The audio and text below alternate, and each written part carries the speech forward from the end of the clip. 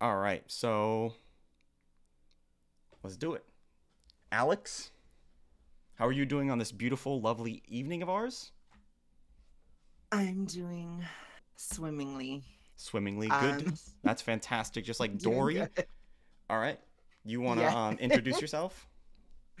Yes, hello everybody. I'm Graphically Alex. I do a lot of anti-FA YouTube.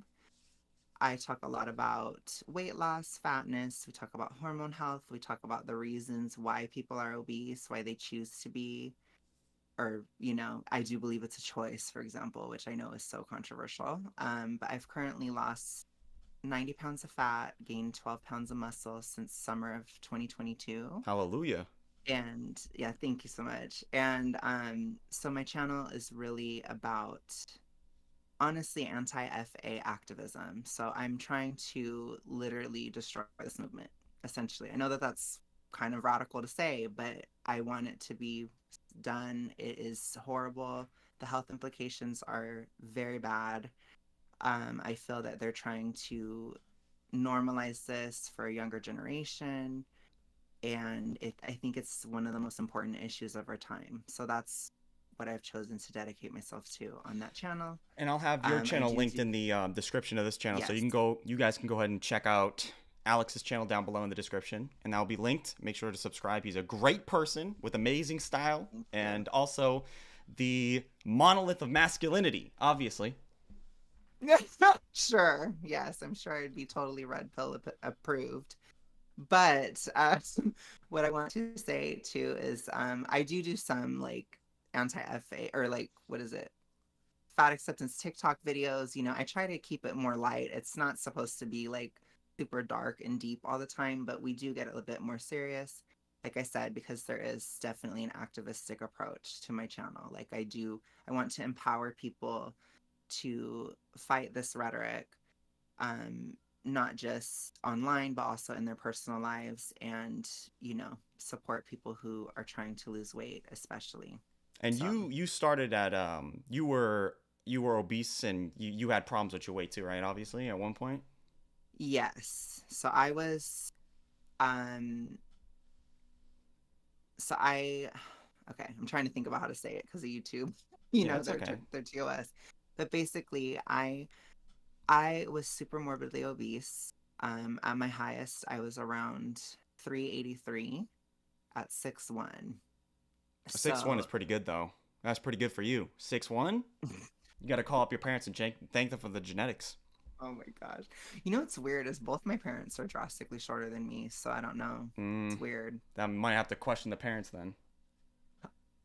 i look just like both of them though so it doesn't work but Maybe they I don't know. Maybe But they gave you something like they gave Homelander in the uh that home. What is that show called? The Homelander show with the. What is that show called? I don't know. Okay, well it doesn't matter. Yeah, go ahead. yeah but anyways whatever. Maybe it's some weird thing about being gay. I don't know. Sometimes gay people are taller. I don't know. It's, it's confusing. I don't understand it. Anyways it happened.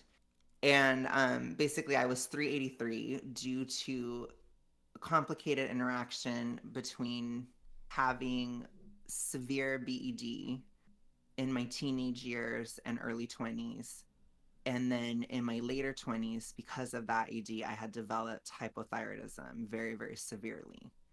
So to like i talk a lot about on my channel to the point of dying of the disease around 2020 and since then i changed my diet and did a lot of different things.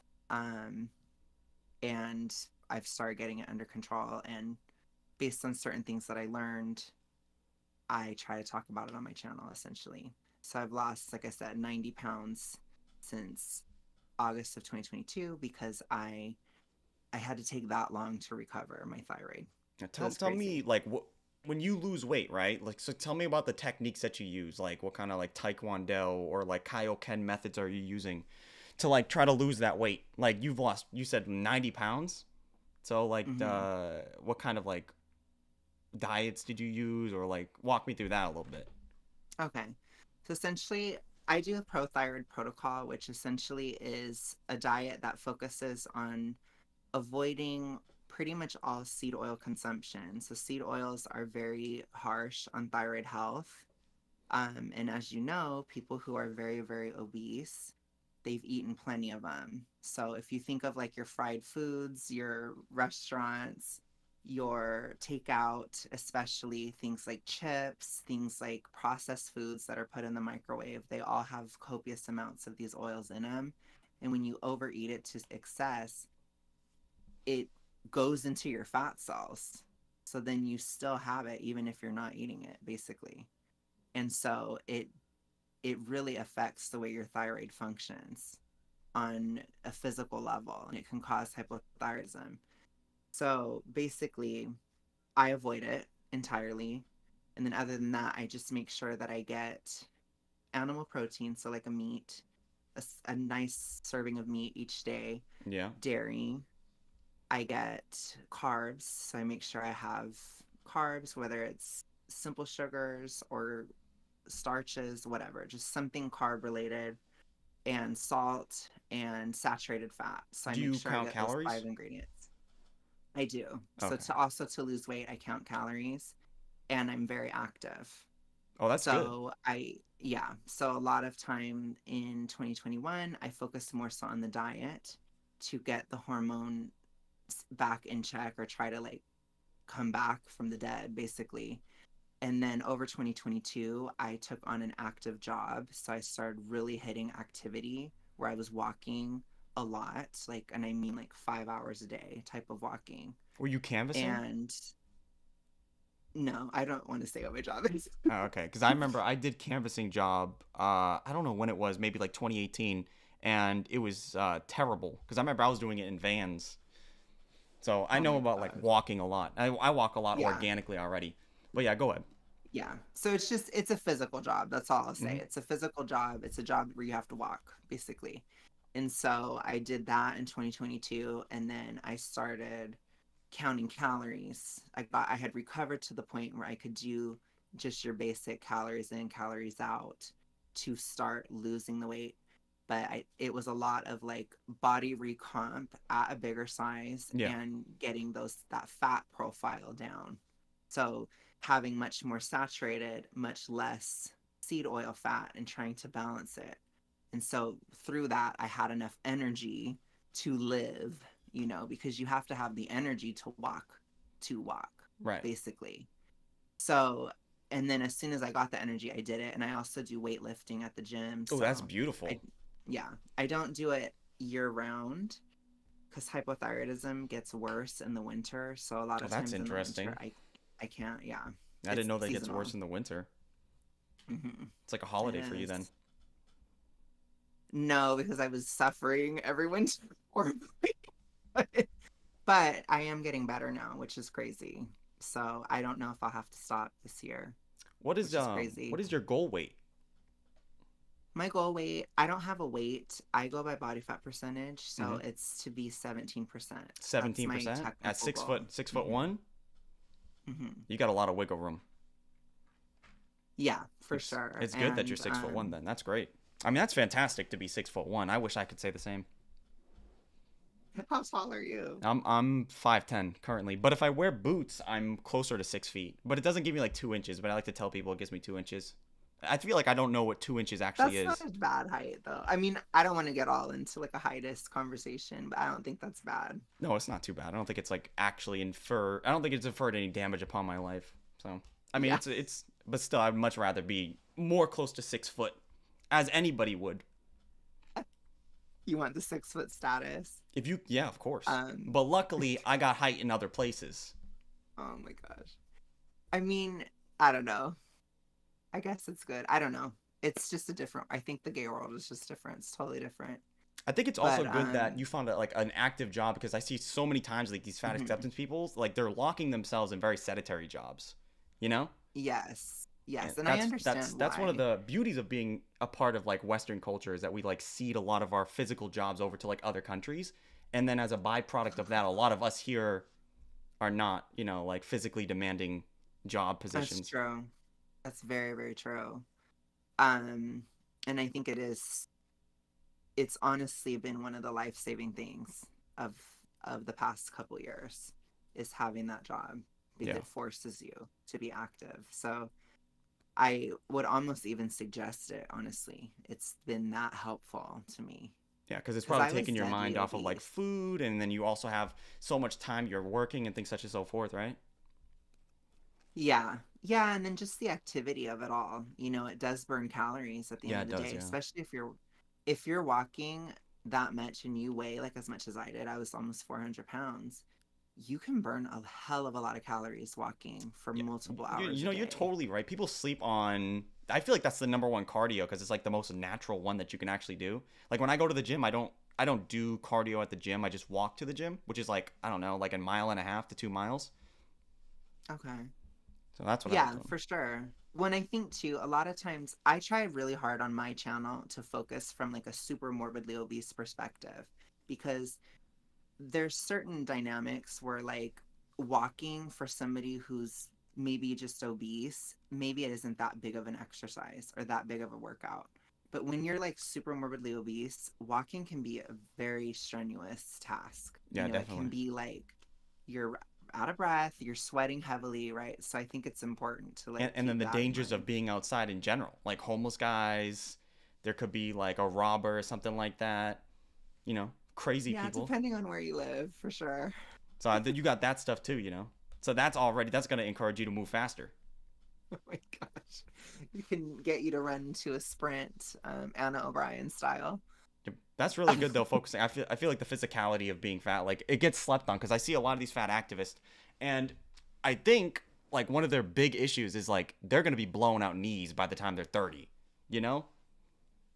Yeah, so I think a lot of times fat activists they're comforted by Youth. they have this idea in their mind that the fatness itself doesn't present issues. But I talk a lot on my channel how the fatness itself does cause hormonal imbalance and it causes hormone problems that cause other issues. So even something like your knees, if you're really, really super morbidly obese, it's not just the weight, it's also the fact that being super morbidly obese, you're likely to have very high estrogen if you have very high estrogen, then you're going to have high cortisol. If you have high cortisol, then it will break down muscle tissues and connective tissues in the body, including the knees. So it is like an indirect thing, but the obesity itself is causing breakdown of the knees. Yeah, and also So the I weight, right? The weight understand of having Yes, like gravity itself is like pushing you down upon the earth, and so that's obviously like it's like impeding. It's like doubling up, right on the yes, joint. so it's really attacking your knees from two different spots, from the structural integrity of it and the actual mechanical stress on it at the same time. So it's yeah, definitely I agree. I mean, it's Would would would you ever how much weight? would you ever be interested in like talking to any like fat activists? Uh, I would, but I, they'd be terrified of me. I Why, know they why do you think they'd be terrified of you? Oh, because I don't. Do you have like they a gun? can't lie to me. Oh, No, yeah, I'm gonna have a weapon that could be used through the power of the internet. you can you could do it. You know how many times I've been threatened over the internet? Oh my god. How about, how often have you been threatened? So sometimes I like to go on like an app where you just kind of like talk to people. You know, like Omegle, except without dicks. And I don't know, like some, it's like the number one thing that people do is like, I'll beat, I'll beat you up, dude. You don't even know, like I'm super strong, and it's it always happens. And I always think like, it's got to be the cringiest thing to to threaten to beat somebody up over, over the internet. Cause like, what are you gonna do? Yeah, it's pretty cheese. Pretty It's cheese. the worst thing you can do is just whip it out, like right there. That that would really get me going, you know. That would that would definitely hurt me more than just threatening me over the internet. But I would love I I've I don't know about you, but I've hit up so many fat activists on all over like all multiple social medias, and I've only gotten replies from like maybe Wow. out of like twenty of them, I've only gotten replies from like maybe five at most, and they all think I'm terrible. Why do you think they think you're so terrible? I think that most of them are really, really secure in the bubble that they've like built for themselves. So like outside people are just like always going to be harmful, kind of like the Native Americans when Columbus came over. You know what I'm talking about?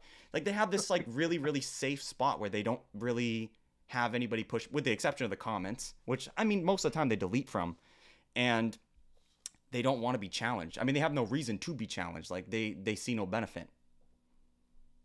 Yeah, I could see that. Because I think, I mean, I wouldn't be scared to talk to anybody. I mean, I think I could. I'd probably be able to absolutely eviscerate somebody, like one of them, with a within a verbal confrontation or debate. I could probably make them want to cry after Oh, you think so? because it's like I'm. Yeah, I think the thing about a lot of FAs in my mind is that they play this like they act like they're so innocent, you know? And I know that they're vicious. They are very, very vicious people. So for me, I can be vicious too. Oh And yeah. so they would Fight fire with never- fire. hmm I'm very fight fire with fire when it comes to FA because it's a very emotional movement, and I feel like to ultimately destroy it, it has to be fought emotionally, and I'm good at that. I feel like I've met, I've seen a few people in the fat acceptance community that try to quote like studies or things like that. You know, like I've seen it a few times on TikTok, but yeah, I've seen it so I've seen it a few times, and whenever I see them try quite try, try to like quote statistics or like facts, it's always something that's not even relevant to whatever they're talking about. And Yes. I think they see like, oh, the number here is kind of correlating, therefore it should relate. And it's always like never it's never related. It's always completely different. And Yeah. like I remember one time they brought up some like the ugly tax. Do you know what that is?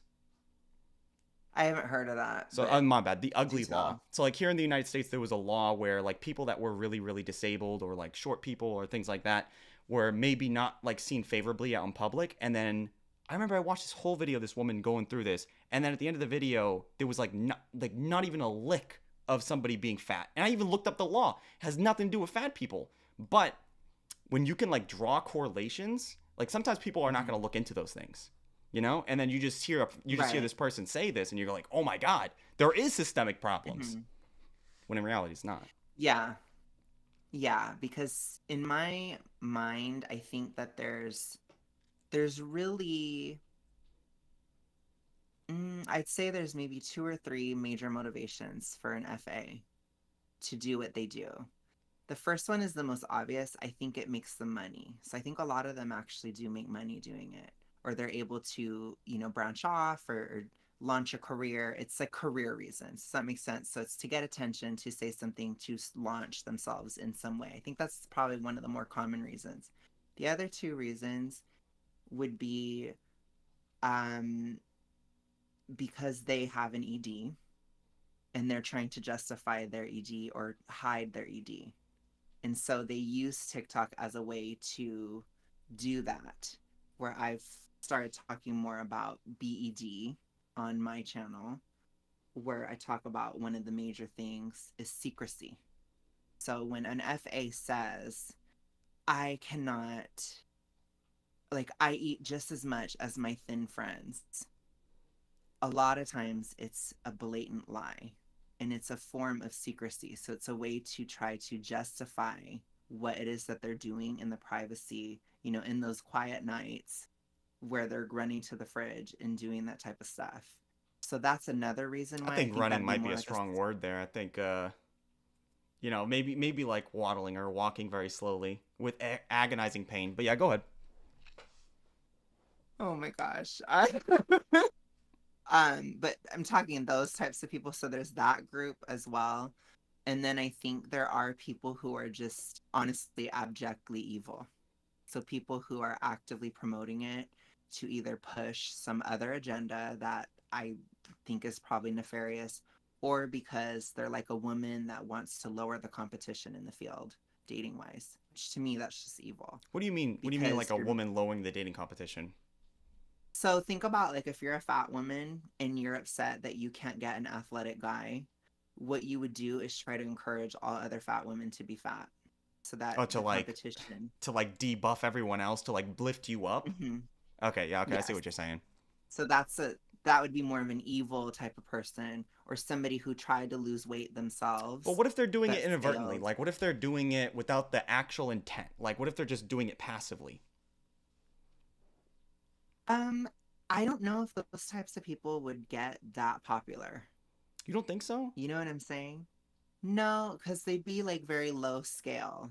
fa But do you do you know what I would be an mean by like that you would say when I say passively, I think like they're not doing it with the back of their mind thinking like, "Oh yeah, I'm going to make everybody else intentionally fatter whilst making that's going to like push me up like the with the rising tide, right?" But I'm more so thinking like what if they just think like that naturally without any like malicious intent involved? Like they're just, you know what I'm saying? Like they think that it'd be just better if they if these women were fatter. Like fat women should just be more there should be more of them. Would they still be evil to you, do you think? Um, I think that there are definitely like people who I think especially very very young people, right? So super young people where maybe they've been taught fat acceptance rhetoric and they might passively accept it Yeah. and think that it's true. That kind of person sure, but they're usually not a fat activist. They're just somebody who will say a fat acceptance talking point on like a video. It's like a comment you would get. It'd be like, "Well, I tried this diet and it didn't work for me." So, blah blah blah, like just leave people alone kind of thing. Do you that think type that- of person? Do you think that like I most like- fat acceptance people are doing what you think that they're do you think they're saying it like intentionally? Like you think they're they know what they're doing and that hmm they they're encouraging this type of behavior intentionally? I honestly do. Yeah, because when you're an activist, you are working towards something. You have an agenda. Like you are doing something. So it's and I think with them, it is like the air they breathe, the water they drink. Especially someone like Aubrey Gordon. Like she is a very good example. She's beautiful. She is a fat activist. Activist. Like she absolutely has an agenda. Everything she does, it's intentional. Somebody like I think Samira, everything she's doing, there's some motive. Did you hear her behind it. song? Well, she I think she's doing it more for a career thing, to That- be honest. Did you do you like her new song though? The one that she put out on TikTok? It's in like every one of her videos. I don't think I've heard it yet. You, you haven't heard it? It's like if you go on her, her TikTok right now, it's like because she's promoting it heavy. It's like her fat acceptance song. So it's like if you scroll through the, the TikTok, you're just gonna hear it like a million times. I think she- unrelated side note, she is talented, but I'm just saying she's trying to push an agenda. You know what I'm saying? She's got Like, I amazing do skin not too. I, well, yeah. I mean, I don't. I think she's pretty and stuff, but I think a lot of them are, you know, because a lot of times they they act as if they're so against beauty standards and all this stuff, but they go along with every other one. That is a, that not actually a really good point. I see them quite a, like all the time applying shades and shades and shades of makeup religiously in every single and then they always focus on oh I can't buy clothes and this and that and I always think like why does it matter like if you guys are really out here trying to redefine the beauty standard like I don't know why you guys are so content following the certain ones that you guys really believe in Mm-hmm. you know Yeah, because a lot of fat activists people especially they're very like they're like ruthlessly ambitious and I can see it. You know, I don't know if it's just cuz I I am ambitious myself or you know like I've talked many times on my channel. I love Taylor Swift, for example. And she's a very ruthlessly ambitious woman, extremely ambitious. So I guess I can see it easier in women. I don't know because a lot of people assume women are not ambitious, which is just not true at all.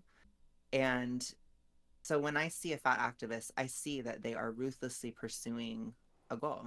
Absolutely. the way when I know, look it- at these like fat activists, most of the time I kind of feel like most of it's ignorance to where uh, I think they might hear one or two things and maybe they research some stuff and then maybe they put themselves in like this boat of the fat acceptance movement. Like I don't think most of them are actively pursuing this. I think that it's just passive for them. I think most people probably pursue things passively. Like you hear something, you think it's cool. Mhm. Like I have a friend and he wasn't into like building computers, right?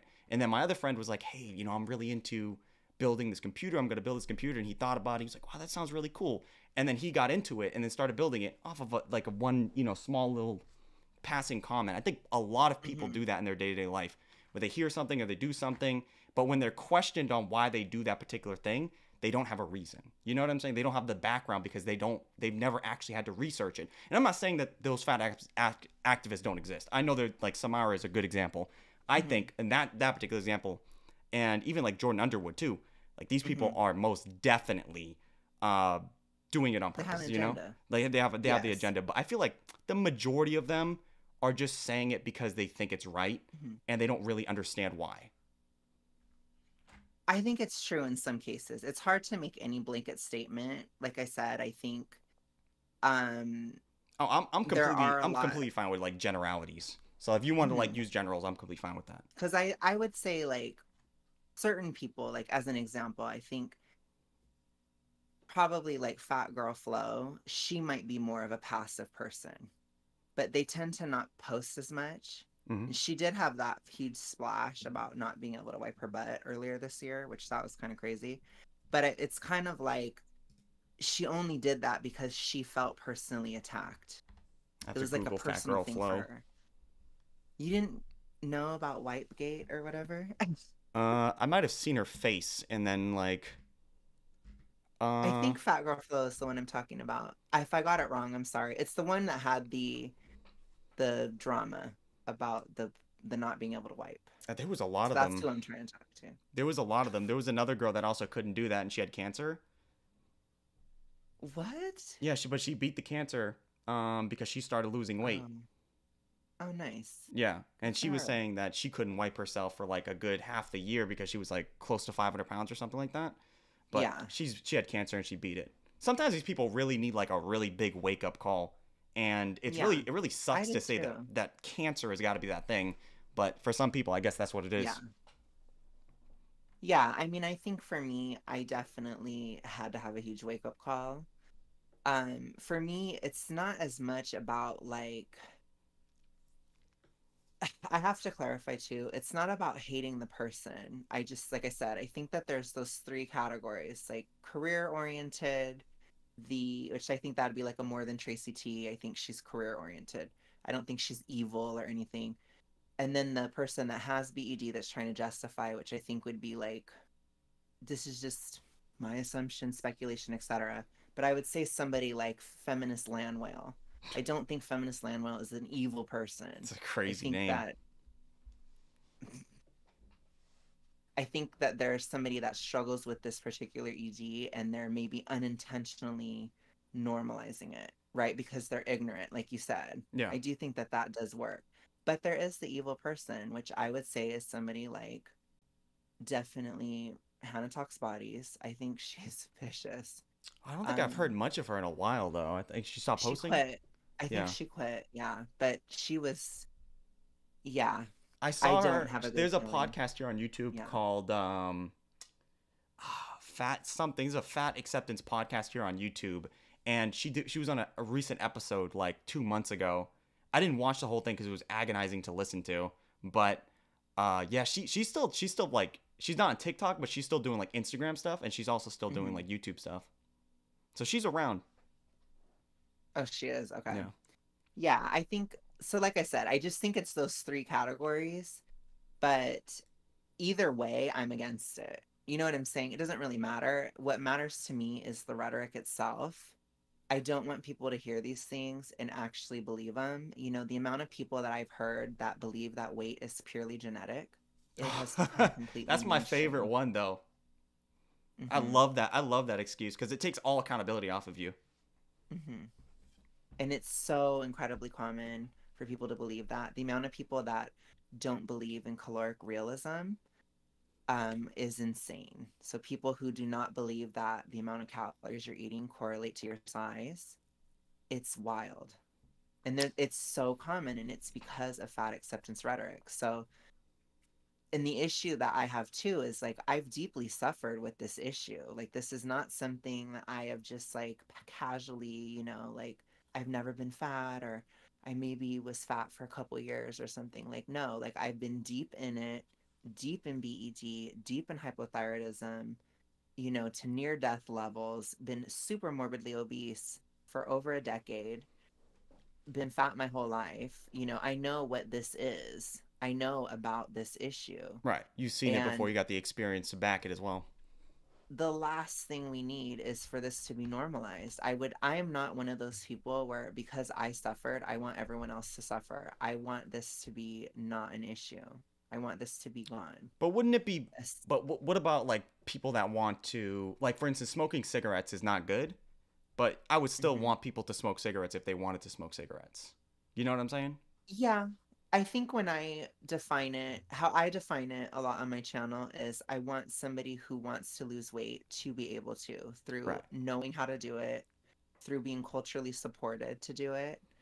Maybe be more enlightened, through- like have more resources. Mhm. And even society should be structured probably a little differently.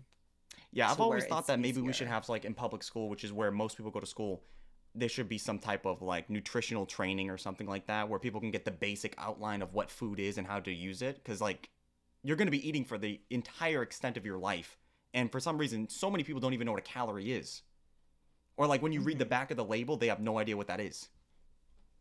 Right. I would definitely, personally, I would advocate more for like parents to teach their kids, you know, and parents to know themselves. Like, I think it's a parent's job to do that, but the parents themselves need to know too, you Yeah. know. So No, it's like definitely. this has to be, it has to be, it's a societal kind of awakening that needs to occur on this issue. And that's what I want to accomplish, essentially. I know it's a very ambitious goal, but like I said, I'm very ambitious. Right. But So you, you I'm said earlier that you this for a didn't you, you don't time. want people like saying these particular types of things. Like you you do you want to like have people just stop saying this stuff? Like what do you mean by that? I want people to know that it's a myth and it be completely dispelled, basically, especially in common society.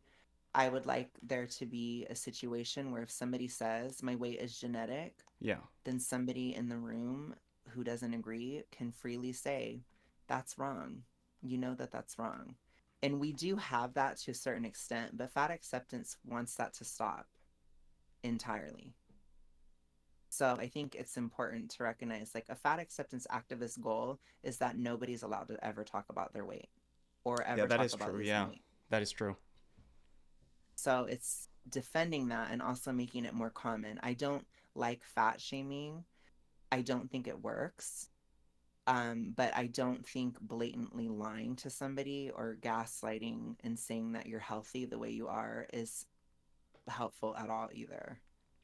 And it's not necessarily everybody's job to police other people, so to speak, but we're in a difficult situation where fat acceptance is policing other people. So there has to be an equal Like a pushback, you that. think, yeah. An yes. equal pushback. I mean, these people are like dying in their mid 30s. You know, like I mean, or if they're not dying, which I'm always a, like, whenever I see people like Amberlynn Reid or these people that have been chronically obese for the majority of their life, I'm always so surprised that they have the durability to withstand the amount of trauma that they've been under for the extent of time that they've been under it. So it's like it's just a testament to the amount of durability that the human being, like Mhm. human body, even has. Like I always think like Amberlynn would have been like a superhero if she didn't have to deal with all the problems of Mm. her body, you know. But um, yeah, I mean, It's possible. Yeah. I mean, I think that it's so difficult. Um, and again, I think a lot of people, there's a lot of people who are very big who, you know, they have a kind of squashed ambition or, yeah, no pun intended. or they're not right? able to. kind of big. No, Huh? pun, no pun intended. Well, no, I'm saying very big, like in ten, in terms of like their size. Like, Right, right. They do have an ambition and they do have a drive and they do have desires and they do have goals and they want to do things and they want to accomplish things in life and they're held back. And so there's a bitterness in that too, you know. And I think some people, unfortunately, they feel that, well, if I can't have it, then I don't want anyone to have it. And that's a very common thing in fat acceptance rhetoric and within especially the leaders in the movement. So it just has to be it has to be pushed back on. I feel like I see more of like an Yeah. ec- equity based system where they see like thin people that have access to basic basic stuff when in reality most of the stuff that they're talking about is just like normal human being things and they advocate for things that should be they, they want them to be equaled out you know so like more elevator access when they have to buy two plane tickets they want that to be subsidized by somebody or maybe making like a, one of the crazier ones is uh making buildings a little bit bigger or wider stairwells Oh, yeah, or making the hallways or the bathrooms or whatever it may be. They want it to be or you know another one will be like towels like make bigger towels default chairs more a little bit more structural integrity. And i see that more often like where they're trying to equal out the playing field even though they themselves have put themselves in the bracket of unequalness. Yeah. Yeah, I think that there is a lot of like I said, there's a lot of gaslighting in the movement. So one of their biggest things that they try to use is the idea of fairness, which it's not fair to kick somebody else off a plane because you're too fat to fit in one seat. That is not fair. True. So the fairness is not real. As far as like towels and that kind of stuff, it's really just numerical. It has to do with how many people are a certain size. And so again, I think because they're so big, they want to push other people to be as big as them so that they can get a bigger towel. Well, it, it's kind of working though. I mean, like a lot of westernized countries are getting bigger and bigger and bigger, and even some of the eastern countries too are starting to get up there. Yeah, a lot of that goes back to seed oil consumption, which I talked about earlier. And Eastern countries are using more of these oils and they're gaining weight like crazy. Well, it's So probably better than them starving. Like, uh, I think like It depends. what yeah. did I, I? Read something recently where it was like the farmland that we use has been slowly but surely decreasing, but we're able to produce more and more food from that particular farmland. So like, I feel like slowly but surely we're reaching an, a point where food might not be a problem in the next like 50 years or so. Because even here in America, we got like fat homeless guys. Yeah, that's pretty wild. That is wild. We're, yeah, we're failing so like we're failing upwardly. Yeah, I agree with that. I think that, you know, I'm all for food security, but I I do think, I mean, obviously, could you imagine if I was like, I want people to be food insecure? That would be Yeah. wild. But uh, but I'm all for that. But what I I think it's important to acknowledge is that the quality of the food should still be ethical. And I think if we're being given something that is damaging people's hormones health, hormonal health because of reasons, you know, these seed oils, they are not good for the environment either. They have to get all this soil to make the soy and all this crap. It's a waste of those of that soil resource. You know they're not using that soil for fruits and vegetables or even meat. They're using it for things like soy so that they can put it in everything. And people don't acknowledge like hey if you have soy in every single thing you're eating it's going to make your estrogen higher. You know it, it, it wouldn't if it was just a teaspoon of, of a soybean right? But if you're having it in every single thing that you're eating and every single processed food basically at the grocery store has this in it. And so it's it's a very weird you know i do agree with fa when they talk about the corporate side of it and big food and that is a huge reason why obesity is becoming an issue. But instead we're talking about towels. I mean think about it. I find that when people talk about like the soy or like for instance, I know that there's this this is like statistic that goes around where it's like men have lost like the average man today has 40% less testosterone than the man that Mhm. did back in the 1960s or the 1950s and that could be attributed to for instance like plastics and that can also be attributed to Mhm. things like soy and that could be attributed to things like you know all these things that are now incorporated into food exactly Yes. and I always thought that never made any sense because these things are so incredibly micro dose. Like, I mean, sure, like I'm firmly against that drinking plastic, like obviously, though I am holding a plastic straw. I um, also like personally, I don't really consume a lot of soy, but obviously, the- a lot of things I do eat do contain soy. But I often think Mhm. most people nowadays are living here in America. Obviously, I'm talking about America. Most things I'm going to talk about are in America since I live in America, but Mhm. um, I find that the reason why a lot of people have lower testosterone, for instance, is because most people back in the 1960s did have a physical job. And then if you don't use it, you lose it. So the testosterone production is not going to be as high naturally because you're not really using your body in the way that you would have if you were working, I don't know, in the fucking cornfields or you were putting up Mhm. electrical wires or building the highway system or whatever. And um, the same thing could be said for like plastics and things like that. Um, people don't have really have bad sleeping schedules nowadays and Mhm. sedentary Yeah, jobs and things like that. together for sure. I think I that, but I think that's the majority of it. I think that that's probably the main reason why testosterone and other things like that. I think that's probably the reason. Personally, I'm not saying that the soys and other things aren't a problem, but I think yeah, that's I probably think the bigger when reason. I yeah, well, when I talk about soy and stuff like that and the estrogen, I'm not talking about it in relation to testosterone. I'm talking about it in relation to thyroid hormone. So in your body, thyroid hormone is opposed by estrogen. So if you have high estrogen, then your thyroid hormone is weaker in your body, which slows your metabolism over time. So that's why there's this stereotype of you're thin when you're a kid and then you just blow up like a beluga whale But when you're in your 40s. what what I'm but like I just want to I just want to ask you this question. Like, are you saying like the soy is what's raising the testosterone? I'm sorry, raising the estrogen? Yes, because there's so much of it. It has to do with it's not a micro dose. It's like a drastically huge dose. Like, what do you mean? It's Like, in everything you're eating. like, can you give me some So examples because- of what it might be in, like commonly used? It's in chocolate. Okay. It's in any fast food product. It's in if you get pasta sauce, Mhm. it's in pasta sauce. It's in your any crackers, anything that's processed will typically have soy lecithin in it. Mhm. For example, that's definitely in that category. Also, any plant-based meats typically have soy in it. Not every single one, but even if it doesn't, then it's super high in seed oil. It's very high in those oils and those fats. Um, so if you think about especially processed foods, these foods, they do impact hormone health and they will lead you to gain weight. Most people that binge or that eat a lot, they're eating a lot of very processed foods and over time your metabolism slows. And then when you eat healthy, you also eat foods that are highly processed or estrogenic. So you'll be like, "Oh, I'm eating healthy. I'm going to have tofu instead of steak for dinner." That sets a person up to have a worse hormonal outcome. And so it can make weight loss less sustainable and more of an issue because it makes you hungry, essentially. You feel hungrier, you feel more tired.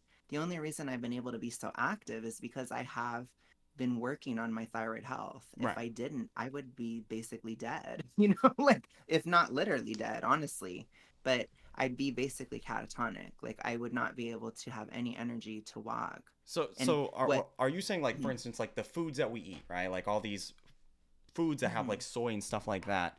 You you attribute that to primarily where the estrogen is coming from, but like you, when people are gaining weight, their bodies are going to naturally be producing more testosterone because of the es- because of the uh, the amount of weight is is a direct correlation Yeah. to the amount of like there was that woman that I was just talking about that got cancer. She had cancer because her body was she Mm-hmm. was so big that she had I think it was um the egg sac cancer and she had to Mm-hmm. lose weight to alleviate that problem. Luckily, she did lose weight. But I think that the majority of people that do have those higher estrogens, if they are fat, is probably a consequence of being fatter. I mean, I don't know Mhm. necessarily it if like is. Yes. uh, I don't know necessarily if it's, It's- like the food. I do agree that food in general probably should be a little bit of Mhm. better quality, but I always like err on the side of we should let the consumer decide what they want to eat. I think these foods should be 100%. Like, you know, if you want to go to Mickey D's and grab yourself a couple QPs or whatever, I think that should always be on the Mhm. table. And I just hope that the person is more well yeah, informed. I just think yeah, I think informed consent is important. I think people should know like hey, if I'm eating this McDonald's, it's going to trash my thyroid basically. People should know that that's what's happening. You know, people don't smoke a pack of cigarettes thinking that they're going to be healthier afterwards. Yeah. You know what I'm saying? Like, but people genuinely believe that there's no difference between eating McDonald's, like having a McDo- McDonald's French fries, and making your own French fries with like beef tallow. And it's completely different the way your body takes it. And it can even be the same amount of calories. Now, these effects, they're more drastic or more dramatic if you're fatter yeah. because you feel it more too. So that's an aspect that happens too.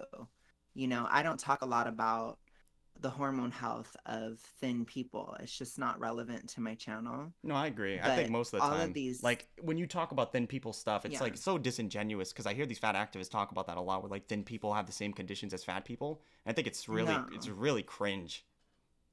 Yeah, because while I do think the average person may have more estrogen now, it doesn't mean that that's you know what I'm saying? Like you Yeah. said, there's a lot of factors that Get in touch into with your feminine side, right? estrogen is not necessarily Communication it's, it's a key. stress hormone. It's more of a stress hormone, but I think progesterone is more of the, you know, female beauty hormone, I guess. But um it's funny because people do think like estrogen is the female hormone and it, it's definitely more involved in female reproductive health, but it's not actually what makes a woman beautiful, so to speak. It's actually progesterone that does that. But just like testosterone makes a man more, you know, manly, I guess. But in terms of like estrogen, it it opposes thyroid hormone, which is what I talk about. You know, that's where I'm coming from. And when you're very fat, like you said, even those environmental factors, they're just blown up and like extremely compounded because the fat itself is also super estrogenic. So like if I were to eat soy, I would probably have a much different outcome than if you were. Right. yeah. Because the estrogen effect will hit me like a sack of It's like multiplicative, potatoes. right? Yeah. Yes. It's like and Ve- it- like Goku and Vegeta fusing, you know? Like they get that yes, extra power everything boost. hormonal is layered. So if you add something, so like if you take, it's like think about a normal fat activist or something, right? Like they're eating tons of seed oils, which is estrogenic. They're having tons of soy, that's estrogenic. They're super morbidly obese, that's estrogenic. They're maybe drinking a lot. Alcohol can be estrogenic. They're smoking weed, that's estrogen. The I mean, if you look at how many vaping. layers. Yeah, well, vaping I don't think is estrogenic, but I'm just saying, like, if you think about how many layers that is, and then they're on birth control at the same time, and then maybe it's in the plastics, right? And then maybe it's in the environment too, then that's a lot. Then it's like, holy crap. And that's how you can get cancer, like that one woman did. Right. She probably had so many layers of estrogen. And obesity, I will agree, it's definitely Like, the, it's the number one thing. thing. I think that Yes. like I get what you're saying. Like you're saying like all these other things are like super Mhm. micro dosing you and stuff like that. But I think Yeah, that, and the layers of it. I yeah, mean, the layers like somebody who's stacking up, right? Like like the layers of a pyramid almost.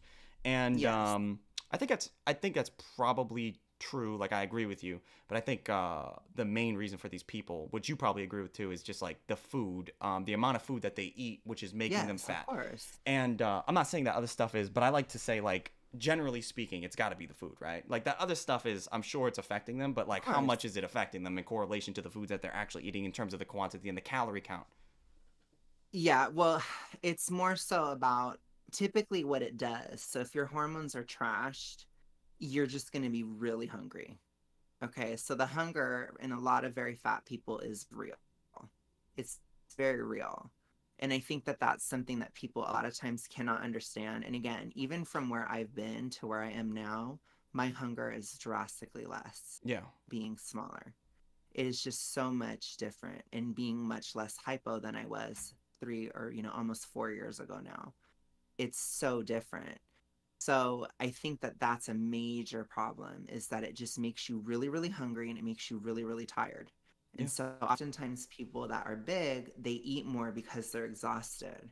So you have to function like at a job, for example. If you have zero energy, then you're going to be like, I got to eat that candy to Yeah. give me some energy. Or so hit I that Mickey work." D's because it's right there. Yeah. Yeah. I I, I often say it's like, it's like if you should be getting eight hours of sleep, it's like waking up off two or four hours of sleep. Being fat and being overweight, being obese, all this is like it's Yeah. like It's rough. you're chronically feeling terrible. Yes. And again, um a lot of the hormonal stuff I talk about, it is within the con- the confines of obesity because that's what I focus on.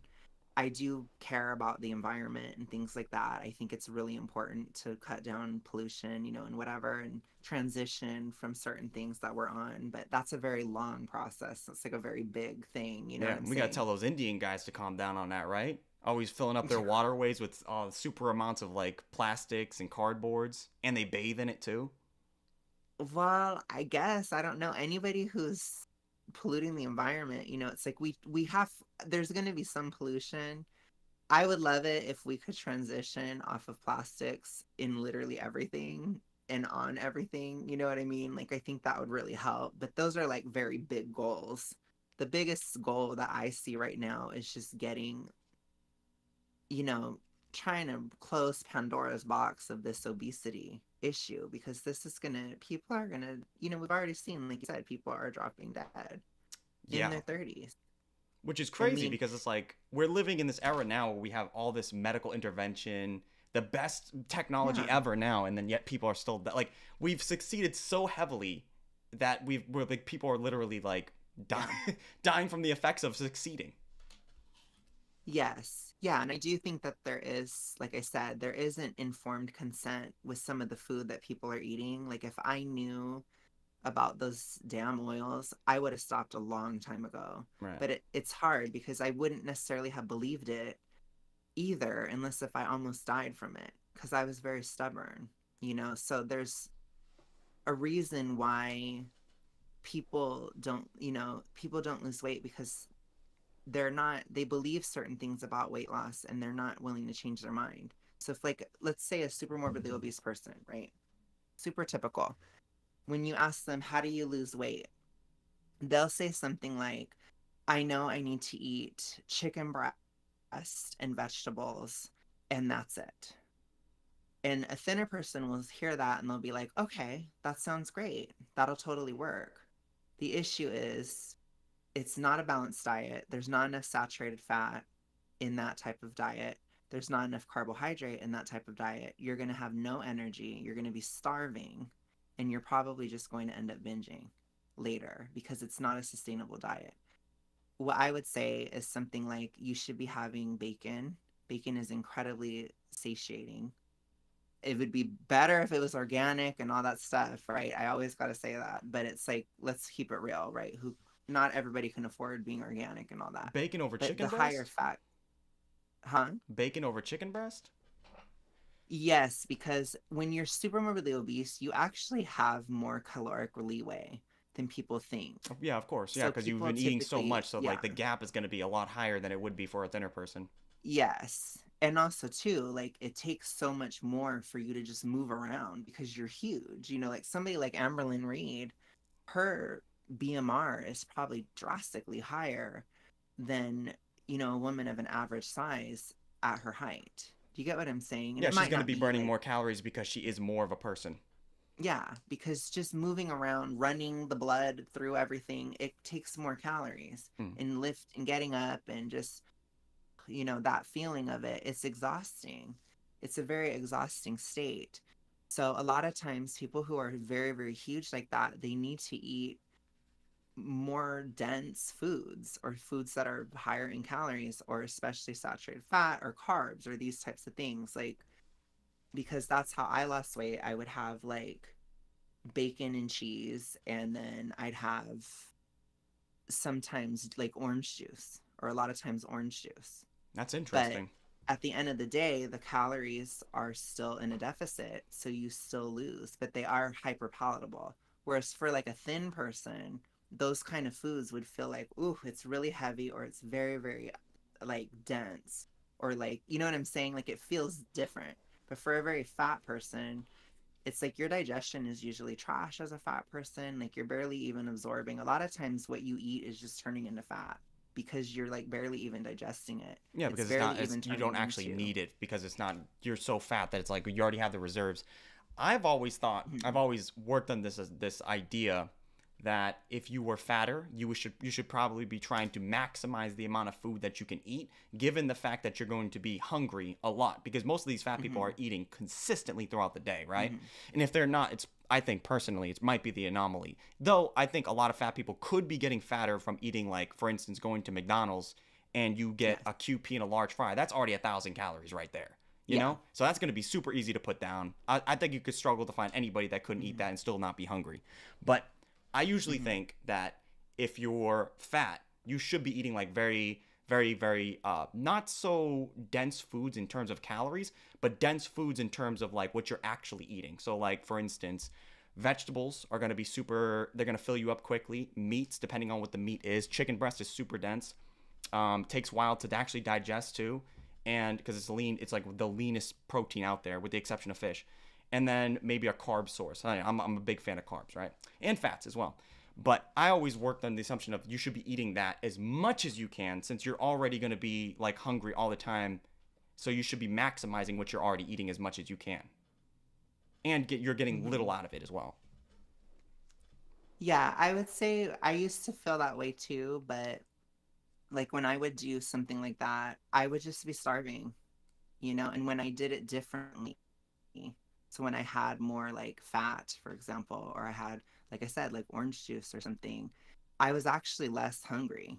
Really? over a long period of time. Yeah, but remember, I also wasn't having seed oil consumption, which that does affect your satiety as well. So I did do a major shift in my diet, but it was still like that kind of like I'm gonna eat chicken breasts and vegetables for dinner. That would be I'd be starving. It's like a Even if it was, like, a lot of food? like Like I'm not saying you Well, have to I eat chicken breast all the time. There's other meat sources Yeah, and I other mean, things like steaks, it depends. Like a lot of times, it's really low calorie. You know, chicken breasts can be Right, but then you, you supplement that because usually you're supposed to be in a calorie deficit. I don't know how much of a calorie Yeah, deficit most of these people are going to be on, but if you're eating something like 3,000 calories a day, you're going to be gaining some serious weight off that. Depending on if you're a woman, for instance, like most women don't even need to eat more than Mhm. 2,000. So if you're eating 3,000, that's a major calorie over that. Mhm. So if you even lower it by like 27, right, which is like a pretty not that's not a steep deficit, but it's, you're still going to lose weight at that amount, especially if you've only been eating 3,000 for Yes. like 20 years. So if you take that like 27 and you're eating like four or five times a day, very low calorie meals, but it adds up to 27, you're going to be satiated Mm-hmm. could do throughout it the that entire way. day because you're eating so consistently and it's filling you up too. Because a lot of Yeah, these foods are that's very when- filling. you could do it that way for sure. I think that would be. It's just I think it might be difficult lifestyle wise. Like I would typically do more of like a big meal, so more like less frequency of eating bigger meals. That's how I did it because it was just easier lifestyle wise. And at the end of the day, for weight loss itself, it's about being in the deficit and being able to stick to it. Yeah. And I just think that a lot of times, um, and again, I speak from a super morbidly obese perspective. So it's like, it's a very specific physical state to be in where certain foods like chicken breast, they're not satiating. It's just very, very like, I don't know how to describe it. It's like you're eating air. It just doesn't Really? hit you. I don't know. Yeah. It's like nothing I because know. people that are very fat they're hung they we are hungrier like you don't Oh yeah, I know that. certain foods just don't hit you as well Yeah. whereas i understand because i've lost weight and so like i've spent a lot of time when i've been losing this weight i've actually had a lot of like candy even because i don't eat bread so i never have any grains i can't have bread because i can't handle gluten. So for me it's like i would eat peeps or something which i know is not the best but that would be my carb source because i'm not ever eating rice or bread or anything so if i cut that out it's like Well, i'm what- basically what, like would be like a very paleo. satiating if you can give like some examples of what you think would be like satiating for like an obese person to eat as like a substitute? Something like ice cream would be. Ice cream. Something yeah ice cream would be probably one of the top things that would be very satiating because it has a lot of nutrition in it especially if it's high quality and ice cream has a lot of nutrition it, what, what, do you, what do you mean by nutrition nutrition i mean like macros. Okay. So if you think about like sugar Mhm. that's a carb source. It's very easily digestible. Mhm. if you look at saturated fat it's very high in ice cream. If you look at dairy Yeah. and calcium it's in there too. Mhm. and the protein is also in there. Very limited so that protein. would be it is limited but it's still there for sure. Usually but when I'm somebody says like like a a very nutritious food not many people will go with ice cream.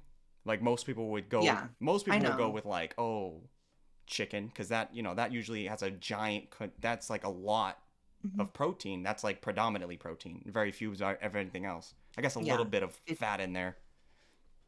It does have a lot of protein for sure but it does have less you know of the fat the yeah but then you can always cetera, right? Supplement though, right? if you wanted some fat into the diet you can chicken breast and then you could throw a fat source in there and then you can also throw in a carb source as well wouldn't that be like the Mm-hmm. same thing like wouldn't that be a lot of calories to eat ice cream as opposed to like a plate of something that would be actually like filling like i don't i don't I, to me eating ice cream does not sound filling at all like i feel like i can eat a lot of ice cream Mhm. and not be hungry Yeah. Well, I'm telling you, it, it is. It's definitely one of those foods that's more satiating towards a very fat person. That's typically why they eat it so much because it's filling.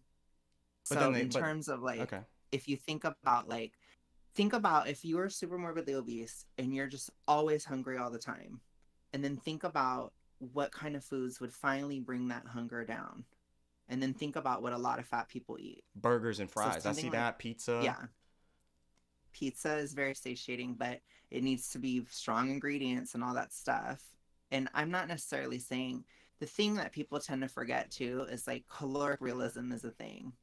So you need to count the calories in your pizza. You need to count the calories in your ice cream. You need to count the calories in everything. But if these foods are more satiating in general, then because they're hyperpalatable, your system is trashed as a fat person. It's like you don't digest food very well.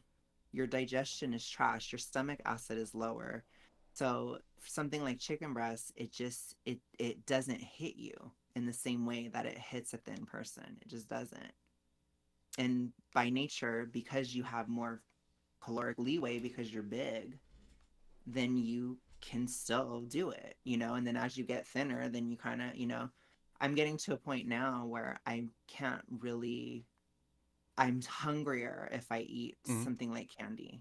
Right. Whereas before, it would be satisfying to me. Now I'm starting to feel hungrier and I'm finding I need to eat more protein Right. or more okay. fat. So you're saying like So, at first you as should maybe feel- like I, I think it's Mhm. probably a good idea for because a lot of people can't just transition to bad eating habits Mm-hmm. to good eating habits just like like not many people can do that it's very difficult yeah, so i always recommend or people to hy- go slow and- hyperpalatable to Nah, yeah, I normal, always recommend people start off really slow. Like you're not gonna jump into the deep end and think that you're gonna succeed. Most of the time, if you do that, you're gonna fail.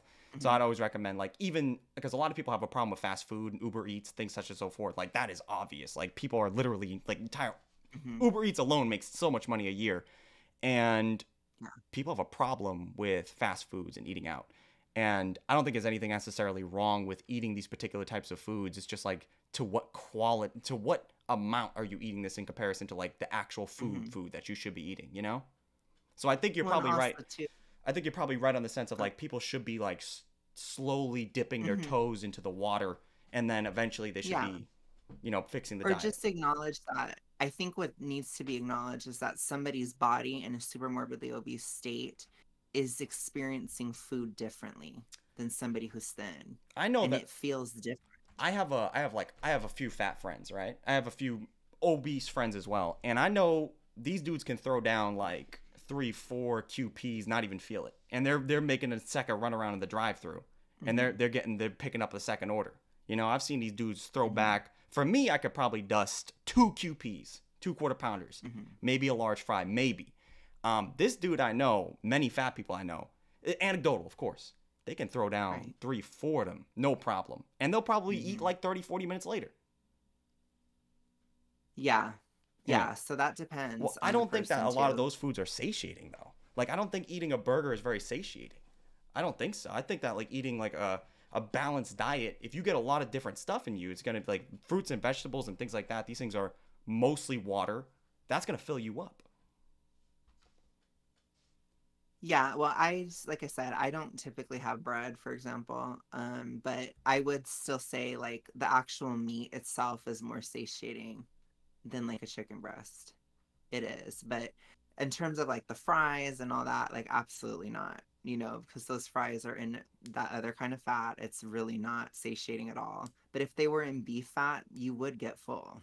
You do, because your body views it differently. I always But like to look at the body as like a oil. I like to think of the body as like a, a wood burning stove. Like it doesn't really matter what wood you put into it, it's gonna burn regardless. But some wood might burn a little bit more efficiently, but like not by much, maybe like five percent more efficient. I think it's true in a caloric sense, yes, but in the subjective feeling and the hormonal effects of satiety, so what will actually get you to be done eating, those hormones, they do depend on what you're actually eating. So You if you're so? just like, oh yeah, especially the difference between seed oil fat and saturated fat is just not even a question. You will be way more satiated from like a steak than having a tofu, whatever Yeah, I think I probably agree with that. Yeah. Calorie by calorie. Yeah. It's because of the kind of fat. Or if you were to have fries cooked in coconut oil versus cooked in soybean oil. It's just you're gonna be like, oof, like you're gonna be full when the, with those coconut oil fries. It's gonna be it, it hits you differently because the your body and your brain and everything can register that type of fat better because we're more we're supposed to be eating more of that than what is commonly thought which the more that we as a society have steered away from saturated fat, the worse obesity has gotten. It's almost a complete comparison. If you look at the decades 80s, 90s, 2000s, 2010s, people have been demonizing saturated fat all those years, and people are getting fatter and fatter. I think there's It's been a a pretty good growth. shift though in the last few years. Like people are starting to understand how great Yeah. fats are now. Like people, their entire Yeah. diets now dedicated to just only eating fats. Yes, yeah, and I think there can be a whiplash too, where then there's a, an over demonization of carbs. Which Yeah, that's exactly what's happening now. Issues. Yeah, That's happening that right can now. bring now. its own Like the pendulum swung all the way back through and it like Mm-hmm. completely overcorrected it. I agree. Actually, I agree with that. I- people really shit on carbs like heavy. Oh yeah, they really do, and I appreciate that you don't. By the way, Oh yeah, I no, I, appreciate that. yeah, no, I love carbs. because I do think that a ketogenic diet it can benefit very very very few people. You know, I'm talking like somebody who maybe has PCOS. It might be beneficial for someone like that or somebody who has epilepsy, right? Like it could be helpful to prevent seizures. yeah, it's very example. niche. It's a very niche diet. Yeah, it's a very niche thing and it's being promoted as like everybody should do it and especially fat people. And it's probably in in general, it's one of the worst things a very fat person could do for sustainable weight loss because it is hostile to the thyroid. It your liver needs carbohydrate to help convert your thyroid hormone. So if you just cut out all carbs, that process is drastically reduced. And so if you're already hypo and then you do keto, typically it will be like 25% worse. So it's like a really huge cut. And so telling very fat people to cut all carbs in general, while like you said, it may work for very niche people in certain circumstances, in general, it's not a good idea and it's heavily promoted. And that's another th- issue that we have in society is Mm. like It's also like I- jumping into the deep yeah. end. Like you're trying something very, very drastic as opposed to what you were just doing, which is like probably eating anything and everything. Yeah, or just honestly, like I said, what I did is I just focused on cutting out seed oils. If I wanted a hyper palatable food, I'd make it myself. So, like, when I first started, I was so ravenous. I was like, so, like I said, I was near death. I don't know how else to say it. I was very, very hypo, extremely hypothyroid. And so I was just craving tons of fat and tons of carbs and tons of this, you know, just tons of all the stuff. But I got off the seed oils, and within six months, my appetite drastically reduced. And I also just I started to have more of a normal hunger response. You think that And maybe you think that has a lot to do with the seed oils, or do you think that it maybe just had to do with the fact that you were like recompositioning the way you ate? You know, like you were changing up the fact that maybe you ate a lot more here, and then maybe you were reducing that. Um, may, I mean, maybe I don't know what you mean by that. What do you mean? So like when you were at that point in your life where you were like near death, right? I'm Mhm. guessing you were eating like pretty much anything. Like you didn't have Yeah. limits, or like you just like your diet was open. I ate a lot of chips, for example. That was a Yeah. major part of my diet, which Yeah. is very high in the oils. Yeah, chips are fucking Yeah. terrible too, and super Yes. like a lot of just useless, useless, uh, nothing in those. But yeah, okay. Could it be like instead of the seed oils? I mean, I don't know. I'm just asking, right? Could it be Mhm. instead of the seed oils? Could it just be you readjusting to a new diet, and now your body's like recognizing like this food is way better than all this food that you were eating before? I think there's multiple factors for sure. I would say probably because I had stopped my BED cycle as well, right? Mm-hmm. yeah. So I wasn't doing keto anymore. For example, I stopped doing keto. I wasn't. Oh, you were actually doing keto? Mm-hmm. Was that I one of your it. first diets that you tried to do? No, I, it was one of the last ones I did actually. Oh, okay, yeah. I really didn't want to, but um, yeah, I had very severe BED episodes with that diet where I would I gained and lost the same eighty pounds within a year Oh. twice. So that's very severe Yeah. ED behavior, and um, it was a horrible experience. It the diet made me feel so incredibly insane. So not, like I said, because I was already very, very, very hypo. So when I was doing that diet, it's like you're taking twenty five percent off of like what I had like thirty percent left. You know what I'm right, saying? and I know Like I was already in such a weak state. You're burning the candle on both ends. Yeah, it made it even worse. And so I think part of it is that I stopped the that cycle. I stopped the restrict and B, you Mhm. know, R and B cycle. Right, right. and um, so I think that's part of why my satiety went back up. but I definitely think the seed oil consumption did have an effect as well.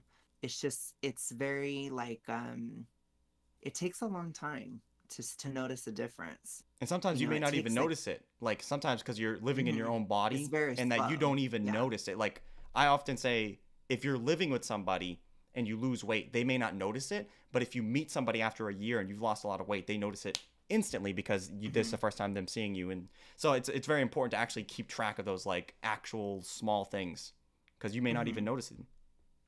Yeah, but definitely like I didn't just cut seed oils, like I changed my entire lifestyle. Yeah. You know what I'm saying? Like I let go of certain toxic mindsets I had.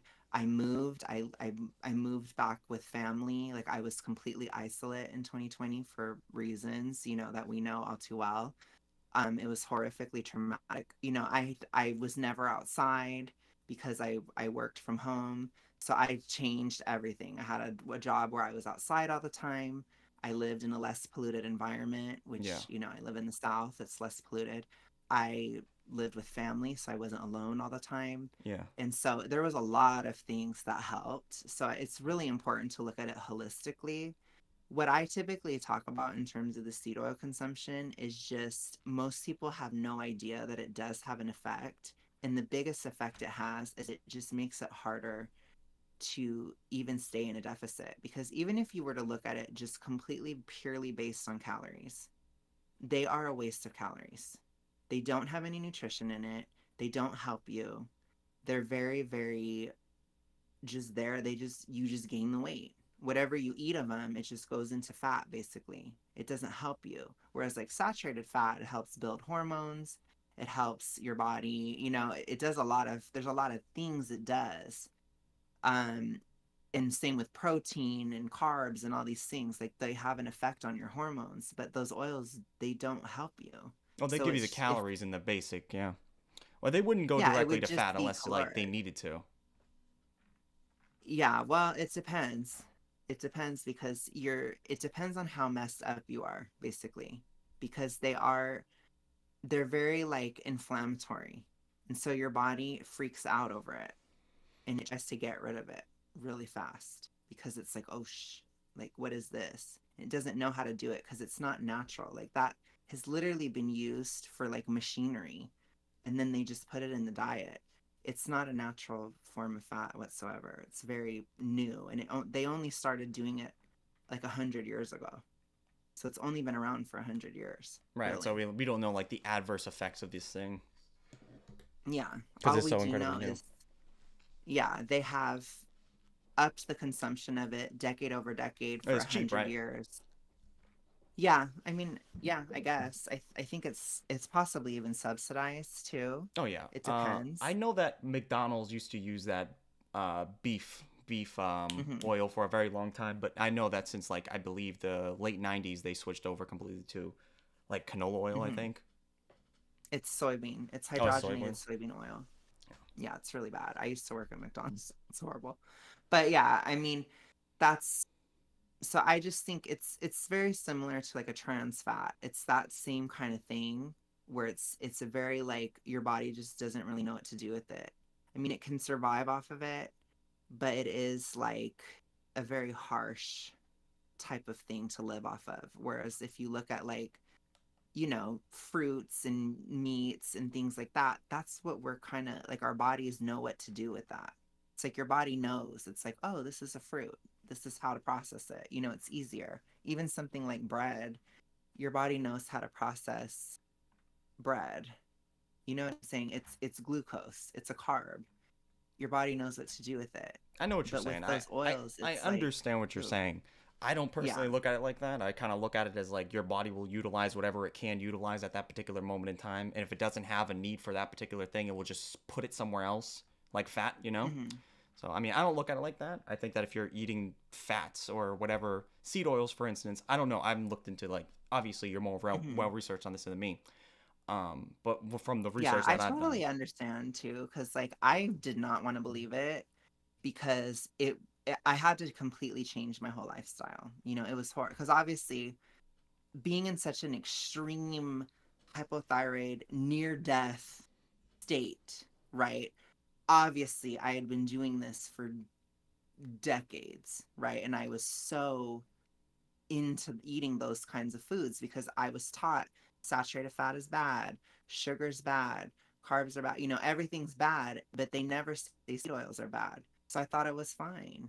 So I ate it all the time. So whether I was off a diet, off the rails or whatever, or I was on a diet, I was constantly eating them for decades. And again, you have to look at the overall picture, right? Like if if you, for example, if you had like, I don't know, maybe 10% of your calories was seed oil consumption, it'd be very different than if it was 60%.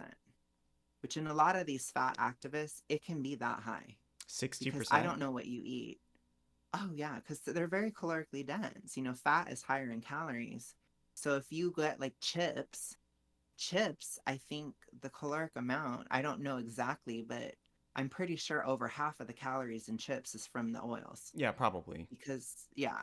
So you have to think like I don't personally, you know, maybe I could be wrong, but I don't think you're eating chips for every single meal, for example, or every day. Yeah, but I don't think a lot of these fat activists are eating that either. I think most of these fat people are probably just They- eating really trashy, terrible foods. They might be Yeah. eating like good foods every once in a while to like try to, you know, equal it out or say that they did eat something that was good that one time so they have something to fall back on. I think that's probably but I think most of them are probably just eating Uber Eats. I think most of them have too much money Mhm. and they're just going out and they're spending McDonald's or uh Yeah. maybe like other fast food genres. And don't get me wrong, those Yeah. particular places are obviously coating their food in like Yeah. terrible, disgusting things and stuff like that too. But that Mhm. food can't be like majority seed oil. Most of that is probably just low quality, low it depends. So If it's fries, then it absolutely is. If it's something like if anything is fried, then it is fried in those oils. So it would be majority calories coming from that. Sure. If yeah. it's something else, like any sauces typically will have it, which again, the majority of the calories in that sauce is going to be from that. Like they add it to everything. I have friends that work in restaurants. It's in everything. sure. Most of the time you get butter, it's country crock, which is seed oils. It's margarine. So, I mean, if any little bit of fat that you're having at a restaurant, it's probably not good. So, people typically think like, "Oh, you know, it, it's it doesn't matter. I'm having butter. yeah. The butter is what's bad for me." It's not. You're having country crock. I think you sometimes know, people go overboard better. though. I knew a dude that was on that keto diet and he was putting butter in his coffee. Well, yeah, of course. I mean, I don't really advocate for that either. Like, I typically, what I advocate for is just like, don't have seed oils, especially if you're super morbidly obese. And again, I'm mostly talking to that category of people, right? Like, I don't really lecture what every thin person eats. I just don't. Um, if you want to do it, then go for it, right? It's probably not going to hurt you as much as it would a fat person it's it's more about the percentage of what you're eating and you know your diet is an amalgamation of everything that you're eating. Right. but in terms of a very fat person it's like most of the fat on your body has those oils in it. So you already have a high amount just by virtue of being fat. Right. and so you need to just avoid it. And so i would just tell somebody like don't buy a store bought cake. Make the cake yourself at home it's maybe the same amount of calories or it's the same or it's easier to transition it but it essentially you are still having a different fat profile and over time your satiety will go up as the months go on. Because i think too a lot of thin people they have this idea that you can talk to a fat person and say you need to just stop having cake or you need to just stop having pizza or you need to just stop having this or that right they'll think that way. But i know as somebody who has been super huge we hear something like that it goes in one ear and completely out the other. We might say yeah okay that sounds like a great idea. They might do it for two days. And so that's it. And so ultimately nothing changes because you know i've had some friends that i've told about these damn oils and they have done a lot better too it is a, it is a factor Sure. but it's a slow process it, just you know and it people seems don't like, like a tough that. it They seems don't- like a tough prescription because if it these if these things are like ingrained within like basically society as a whole when it comes to dietary Mm-hmm. functions um i feel like the messaging is just not it. You know, it's like I I hear people a lot when It's when tough. It when- is tough. when I hear people right, like it's it's like if a guy was down on his luck and he didn't have any money left and he was broke and he got a he's got a kid coming, he's married, his house is about to be foreclosed, he's broke, and then he comes to you and he says, "What do I do? You know, I got no money, I'm in forever debt. I need money today. Like I need money right now. My my bills are due tomorrow." Mhm. And then somebody goes, "Well, this is what we got to do. We got to go to the government. We got to put the picket fences. We got to go. We need basic income. We need we need advocacy. We need this. We need we need to make sure that people make money today. You know, all stuff. That's never gonna happen. You know, like uh, that guy needs the money now. You know, that's not gonna Mhm. help him. That dude is he's fucked. He's done. He's done. He's you didn't actually help the guy. And so I hear what you're saying, but like seed oils, I don't know. I just it doesn't seem practical. It is practical. Like I did it in a very impoverished state. Like it's possible. Yeah, I'm not I saying like say. money is. Pro- Yeah. Mm-hmm. I don't think the money, like that analogy was just like you know that was just yeah okay i'm just saying like it could be difficult i think you know anything is difficult when it comes to weight loss but i've done it. You know i've taken 90 pounds off. I've kept it off for almost two years. I fully intend on continuing. Right. and it's like i think most people that do lose weight especially sustainably they are naturally cutting these oils and they maybe don't even realize it because they stop going to fast food. They stop having chips. They stop doing certain things and it might improve the numbers enough to where they're they lose the weight and they keep it off. Right. but most people that do the diets like do keto. Mhm. they're having salads with tons of seed oils on it. Do veganism. All the fake meat is pure seed oil. You know a lot of vegan foods are very high like vegan milks for But example. But those people would still lose weight though, because just by process of eating less than what their bodies actually they need. keep it off? Yeah. If they but it's- continue down it's that a line, matter right? of yeah it, it's a matter of if they can keep it off and most of the time people can't And you think like the the, the cutting out of seed oil would be the defining factor of keeping it out? Of keeping it off Keeping it yes off, yeah. because it has a metabolic benefit Okay. and also an energy benefit because people they don't lose weight primarily because they're hungry and they're tired Okay. and so cutting out seed oils it will reduce hunger and tiredness and so if those two issues are resolved then you're going to have a much easier time. I understand about the practicality argument. I totally get that. But again i'm talking to people who are on death's door. I'm talking to people who are very big. You know obviously i'm going to call out fellow fatties. You guys are eating a lot. So you clearly have enough money to eat a lot. You can make a change in that regard.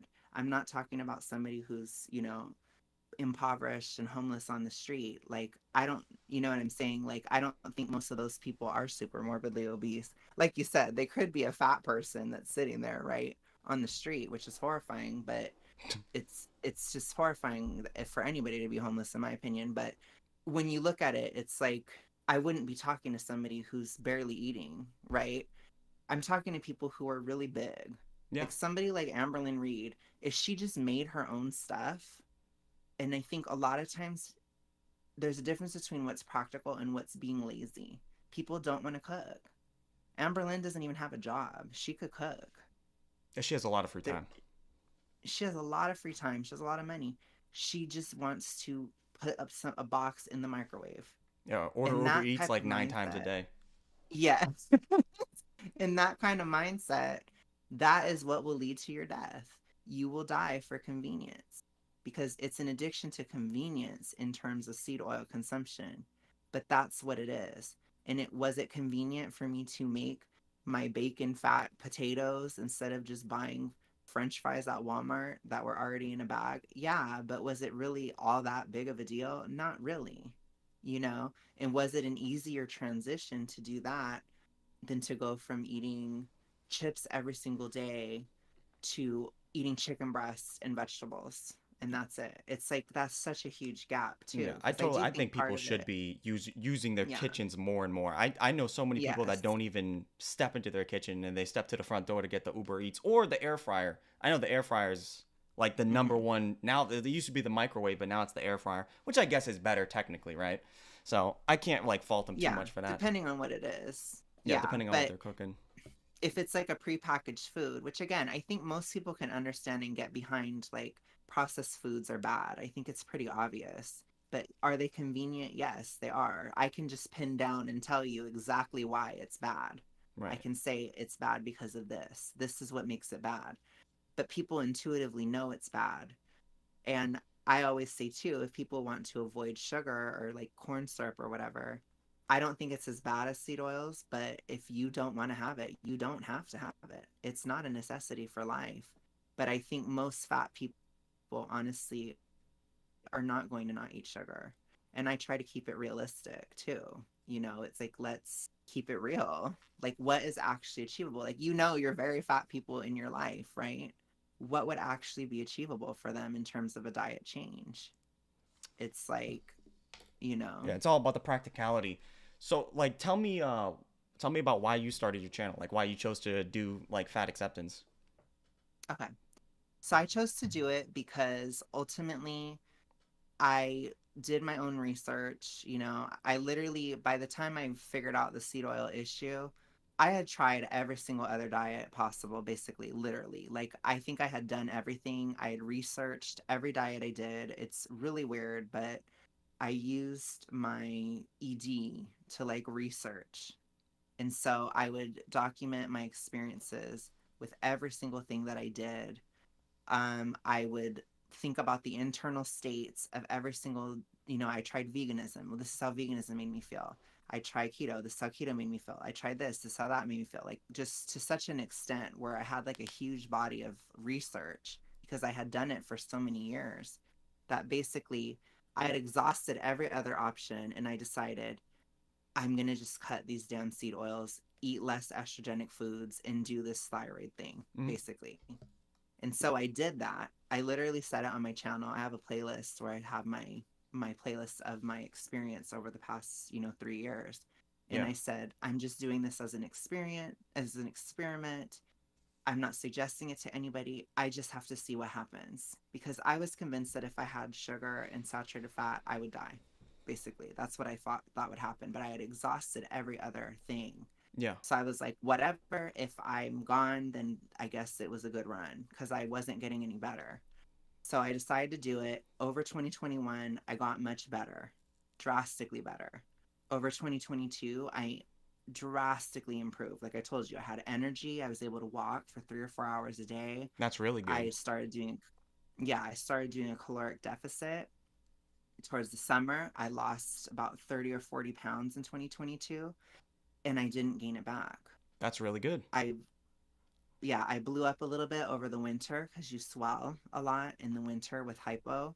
But when the spring came, the weight came right back off really, really quickly. And then I lost another 50 pounds last year. And yes, I was counting calories and yes, I was doing the, the, the other stuff, but I never denied any of that, right? hmm but it was sustainable. It was something I could do. And so basically, around the end of 2022, I had had so many changes on a physical health level that I was like, okay, I have to start telling other people about it.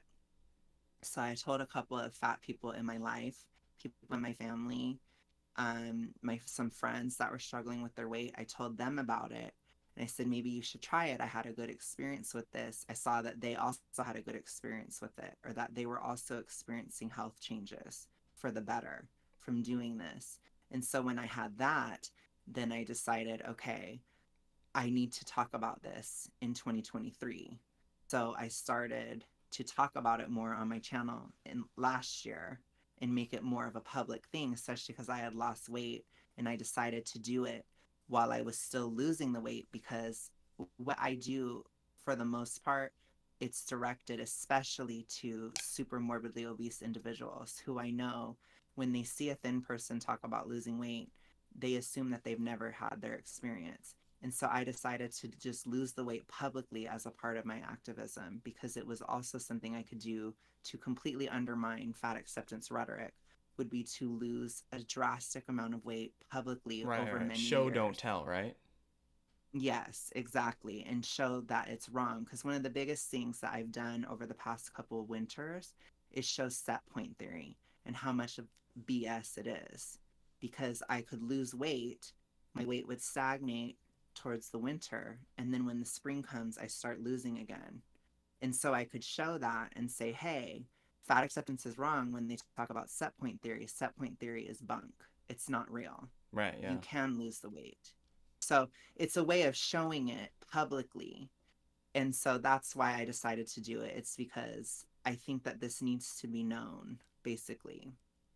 When so, did you? like I said, I um, want to resolve it. When did you get like real deep into it? Like, I mean, in, in terms of making content. About fat acceptance? Yeah. It started happening towards the end of 2022 Mhm. because I, like I said, I had realized that I had figured something out in regards to this issue. And I was like, okay, I need to tell the world, basically. And I started talking about fat acceptance rhetoric because I started really considering what are the barriers I've had towards losing weight. And a lot of fat acceptance rhetoric is very, very BED coded. And what I mean by that is that a lot of the logic that they have and that they push, it's stuff that people that have that ED think. So it's things like, I can't lose weight because I'm just meant to be this weight. That's something that somebody with an ED would say to themselves because it's like a way of denying reality. Right. Because Taking that's a part of accountability off it. themselves. Yes, and also trying to do anything to avoid getting rid of that coping mechanism because it's all about protecting the activity that you're doing, which you know it's wrong. We all know it's wrong. I mean, come on. You know it's wrong to binge. It's wrong. It's very damaging, it's very expensive, it's extremely harmful to your body, right? Like and it also just isn't very pleasant because there's a lot of really horrible things that go with that but when it's your main coping mechanism for trauma in your life, you create lies and you try to protect yourself Right. with it. And maybe you And try to move so the goalposts back seeing- anytime somebody says something to you. Yes. Or you gaslight, you say, don't talk to me about this. This is just the way my body is, right? You start seeing, and I used to say things like that when I was a teenager. Like I would say, I don't want to hear about my weight. I don't want to talk about it. That was how I said it because I've never been a fat acceptance person. I never believed the rhetoric itself, but I had the ED and it's so similar. I had the exact same mindsets. And so I just started to realize like this logic and what they're pushing on people, and they're actually pushing people to not lose weight. And they're saying if you lose weight, it's racist, yeah. which is like totally crazy. it's against black women. And it's like, uh, yeah, which is really bizarre, but it's like they're saying these things and they're pushing it onto other people. So it became like, I just realized like, I'm going to go after this rhetoric because this is one of the major things that's a huge, huge issue towards people who are trying to lose weight is this actual rhetoric. It's probably just uh, because- really dangerous in general to people because, like, how many people can they convince and then have those people just not care about themselves anymore? And eventually that leads to them gaining weight, which is what we see already in America. hmm Yes. Well, yeah, and the rhetoric isn't new. I think that's what people don't understand too. Like, it existed even in the 2000s. I think it goes all the way back to the 60s. Yeah, and it's yeah. just become more and more mainstream. And it really was becoming mainstream in the 2000s.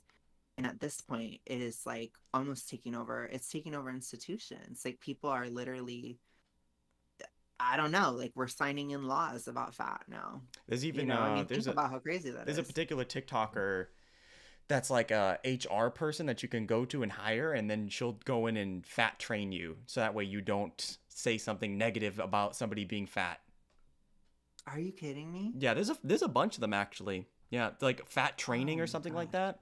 Like you know how they have like sexual assault training, or they have like she's a Uh-huh. part of that, but for fat people, so you can't say specific things. Her videos are awesome. Oh my gosh. That's crazy. Yeah. But yeah, that's what I'm saying. And it, it's like, I don't know.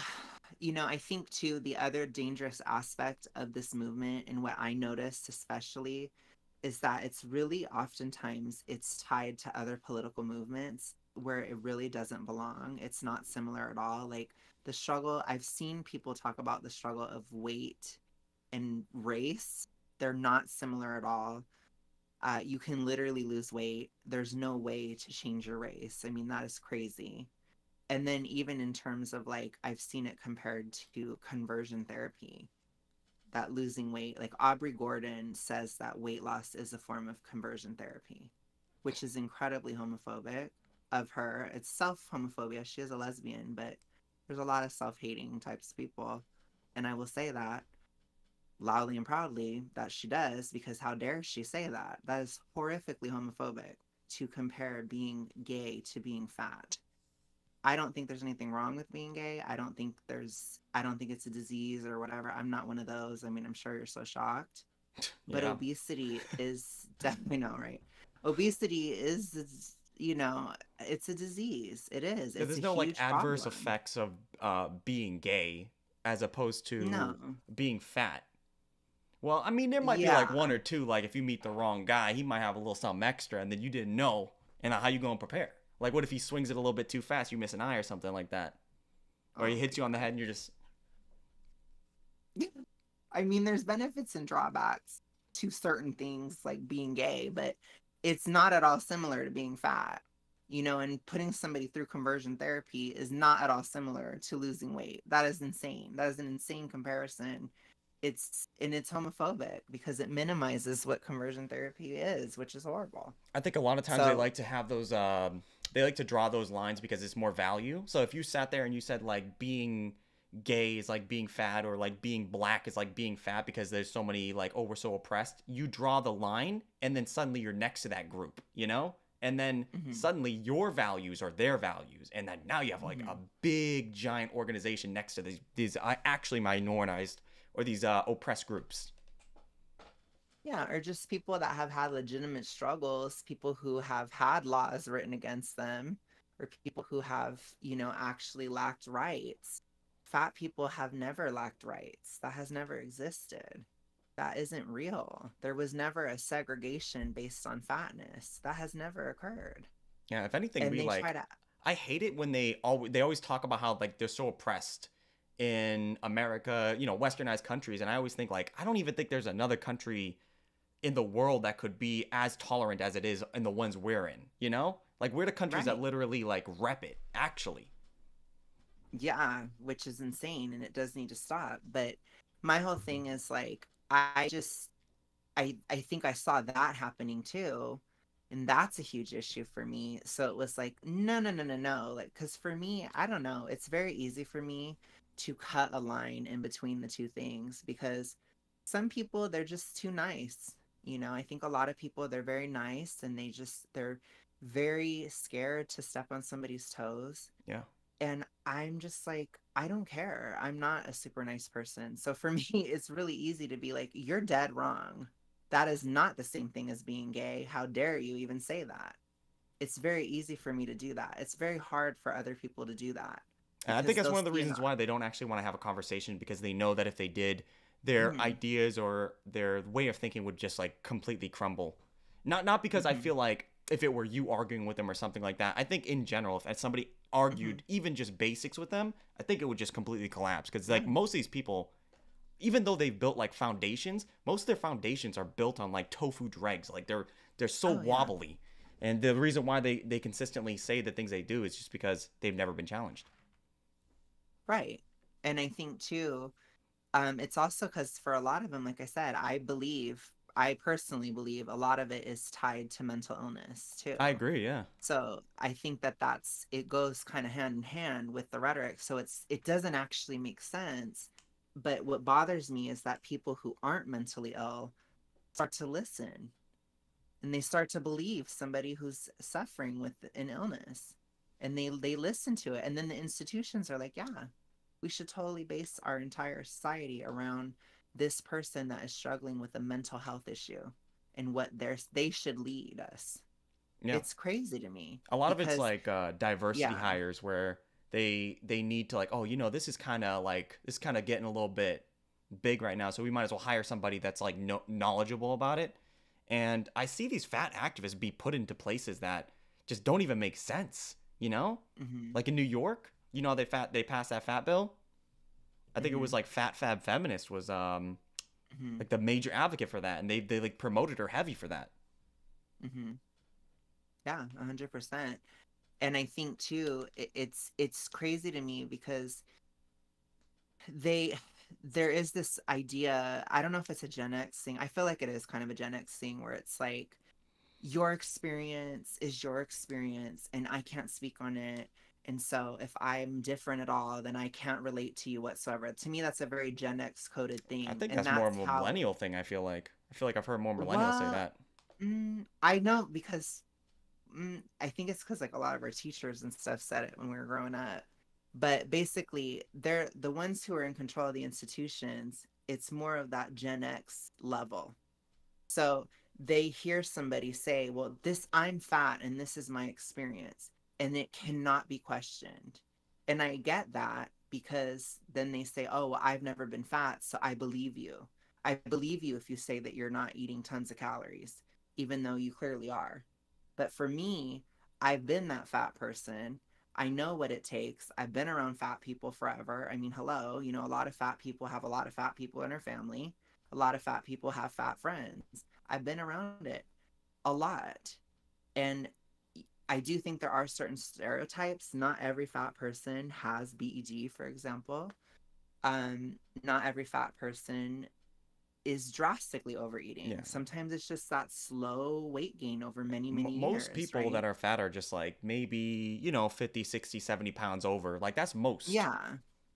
So those kinds of people, it's not the same. It's like Yeah. a passive kind of laziness thing, or just, you know, you kind of forget about it, or you just don't consider it because it's not like a dangerous, you're going to die tomorrow type of feeling. Whereas, like, when you're really, really big, it is like a dangerous, you're going to die tomorrow type Yeah. of thing. You're always thinking about it because you have to, because it's in your face all the time. You know going back to that like whole racism argument like i've heard that quite a bit. I, I i really think that these people need to get like better wordings and like better terminologies because like when i hear them say things like oh fat phobia is rooted in racism fat phobia is rooted in misogyny fat phobia is rooted in like all these different like isms basically i always think like when have you ever heard that particular terminology ever be used in the same sentence before? And i feel like so many i think i think it's a good thing because more people like when they hear that they go this that is ridiculous.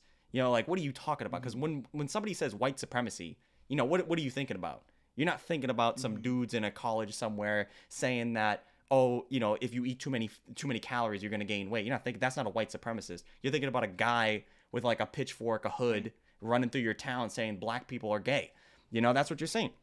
Right. so when you see that, and then like I see it, and I'm going like that. All right, that's you know, you guys need to have better terminologies, and I wish they would because at least there'd be some kind of like argument point on those particular things because um it's just too easy sometimes to hear these people talk. It's like you guys are losing so many of your audience just off that. Yeah, when I think too, it's I don't know, it's just like um I mean, I hear a lot of people talk about like it's kind of co-opting the struggle. You know, it's like you they take on a different struggle. And I found too, like I watched a lot of I've watched a lot of Jubilee videos, for example. Yeah, they're awesome. I hate them. But you watch them, though. Acceptance. I have to because my audience demands me to. You guys force me to, I will say.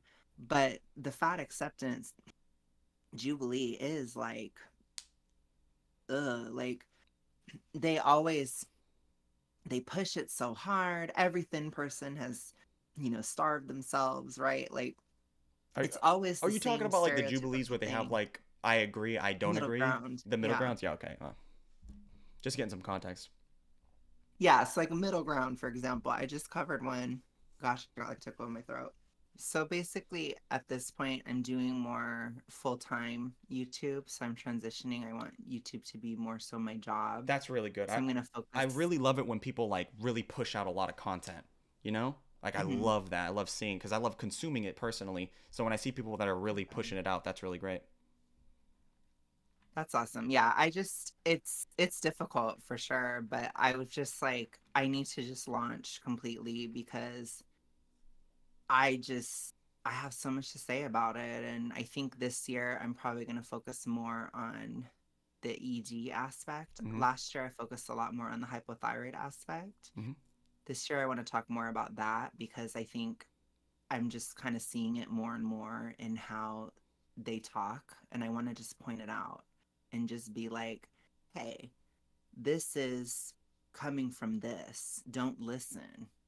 But I think I just can't stand how much they they try to take on these other struggles. Oh, this is what I was trying to say.